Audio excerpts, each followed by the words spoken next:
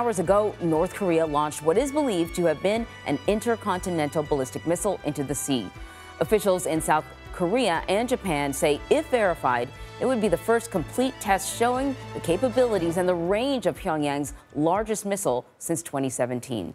So we're going to head on over to Lucy Craft, who is in Tokyo, for more on the details surrounding this launch. Lucy.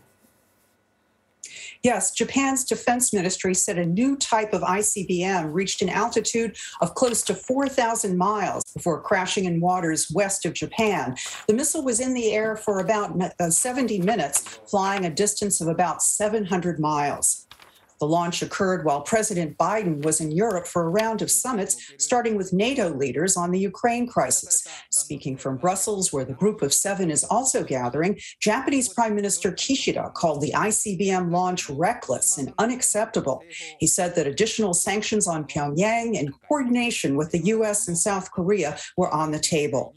The missile was launched from North Korea's east coast. The provocation marks the first time North Korea has tested a banned ICBM since 2017. It caps an unusual upsurge in missile testing this year as Pyongyang prepares to mark the 110th anniversary of the birth of founder Kim Il sung, the grandfather of current leader Kim Jong un.